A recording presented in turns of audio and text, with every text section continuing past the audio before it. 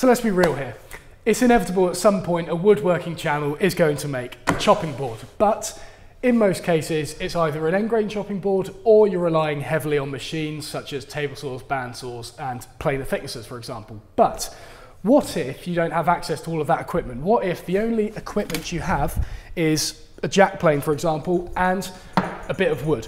How do you turn this wood into something that you can chop your cabbages on? I'm going to show you that now. Let's go.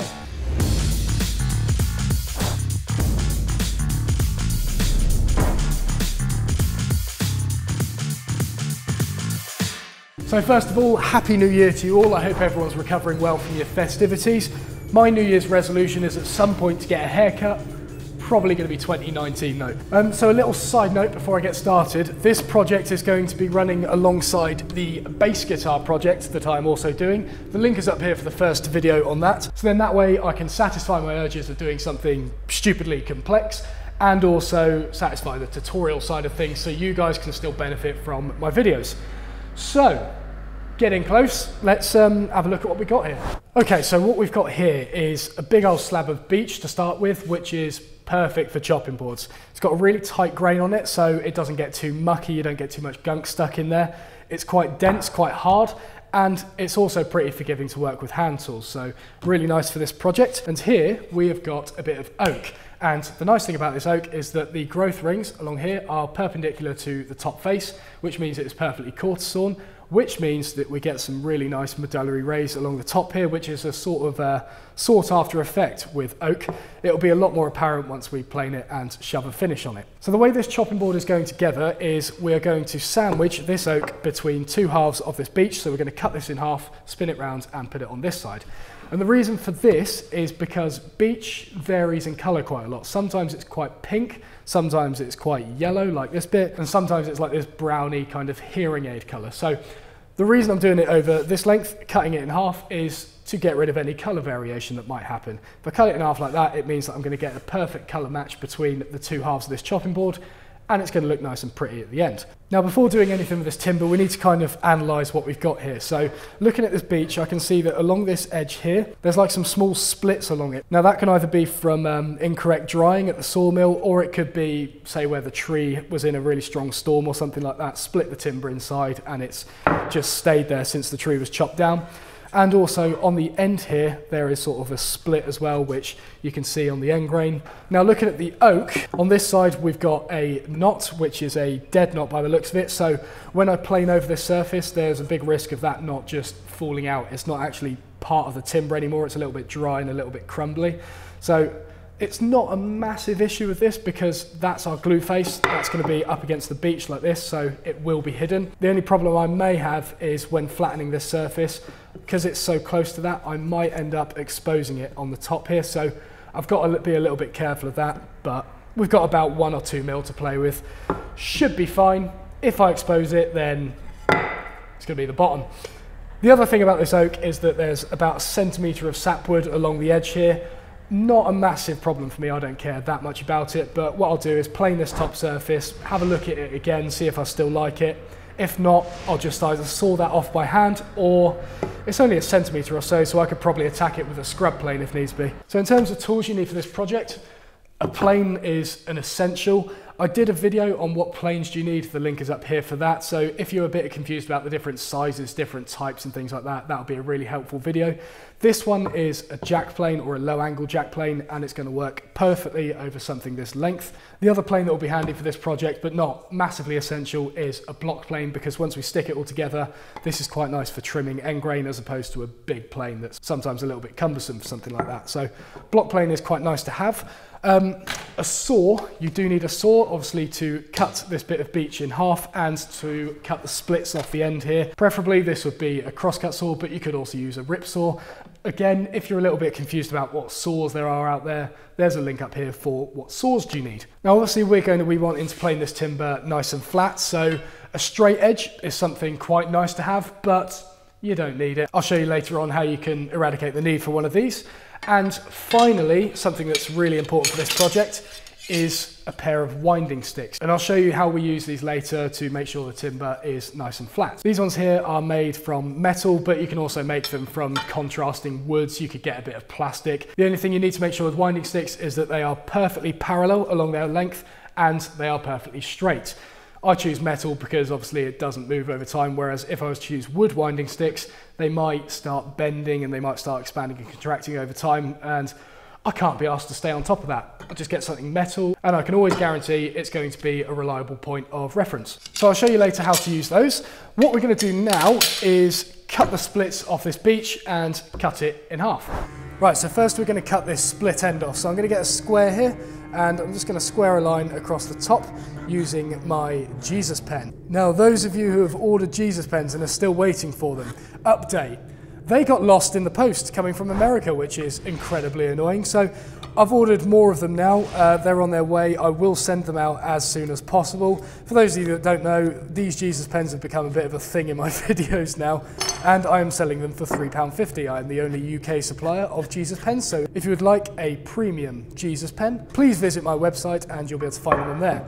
So back to the project. Um, squared line across the top. I'm just going to square a line down the edges as well. The more accurate we get this now with the saw, it's less to clean up with the block plane afterwards. So now I'm just going to drag along my shooting board. This shooting board is going to be replaced sooner or later, hence why I use it as a bench hook. Okay, I've just shimmed up the opposite side here to make sure it sits level on there.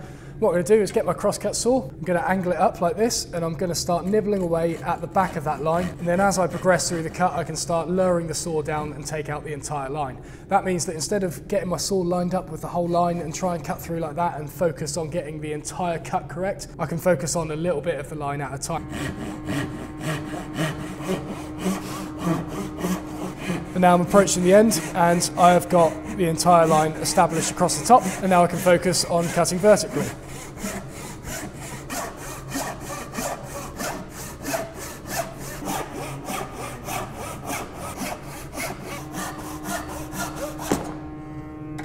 Cool, right, we're through. So we've removed the really bad split from the end of this component, but it still looks like there's a tiny one here, and that's the split that continues all the way up to the edge. Um, I could cut it all the way off up to here, but there's also some smaller splits further along as well. So and if I'm too fussy about it and I keep trying to remove those cracks, by the end of it, this chopping board will only be able to cut like a grape or something at the end of it. So that crack relatively small. I'm going to live with it, I think. Right, and with that end cut off, we are now going to cut this bit of beech in half. So at the moment it's at 860 millimeters, so cut it to 430. And that's going to be the overall size of our chopping board. Yeah.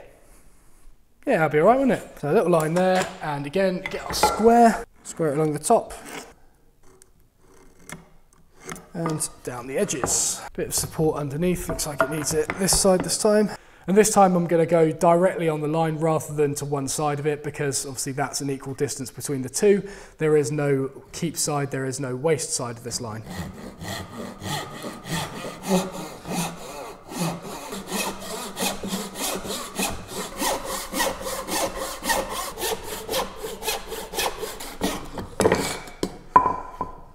Cool.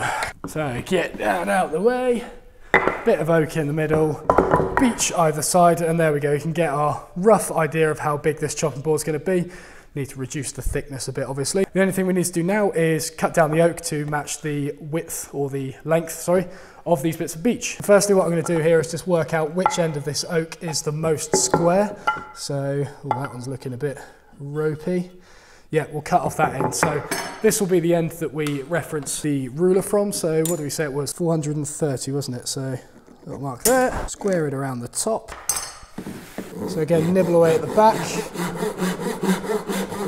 lower the saw down, and then hit the entire line perfectly square across its length. If you want to know more about how to saw correctly, I did a video on that as well, so the link's in the top corner for that. The tips about starting the saw up like this and leveling it out is only one of the many tips in that video, so if you're struggling with sawing, be sure to watch that.